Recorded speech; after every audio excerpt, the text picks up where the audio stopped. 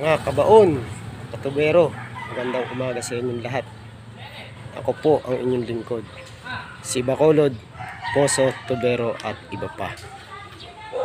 Meron po tayong isang kaibigan na nagpagawa po ng bahay dito sa Barangay Bahay Pare, Candaba, Pampanga.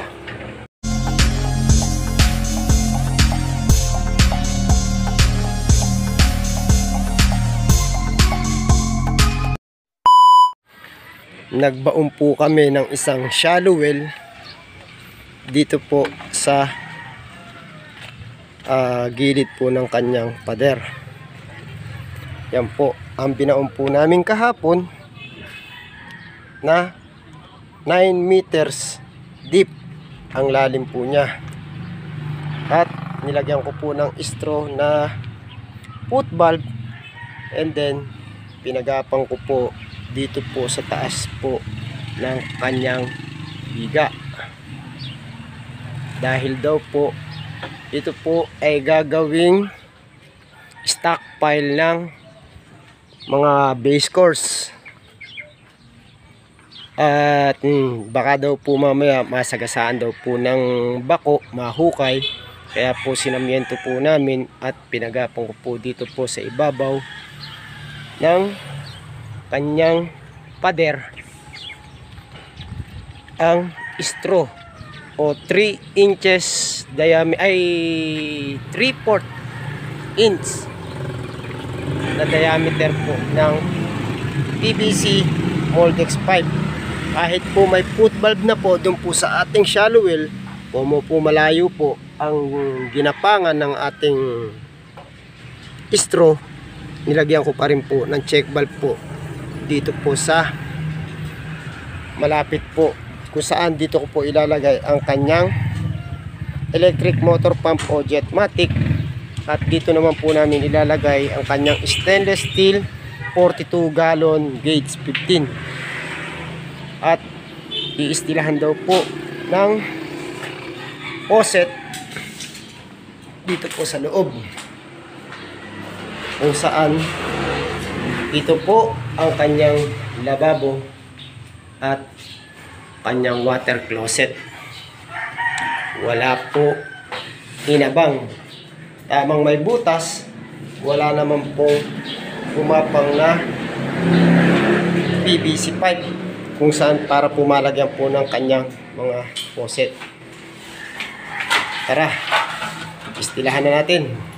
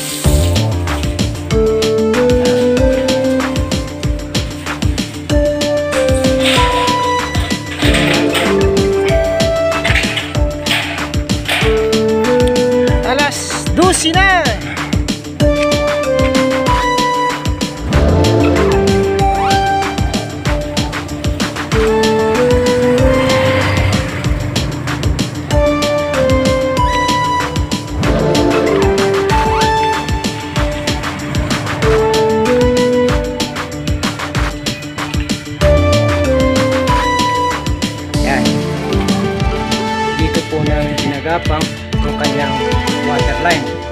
At po sa likuran. Ito po, yun ang galing po sa kanyang tangke. Pumunta po siya sa ito naman po ang papunta sa kanyang lababo kung saan po naglagay po kami ng angle bulb tsaka po ng hose para po maikabit po namin ang kanyang gooseneck at ito naman po ang pumunta po sa kanyang plus.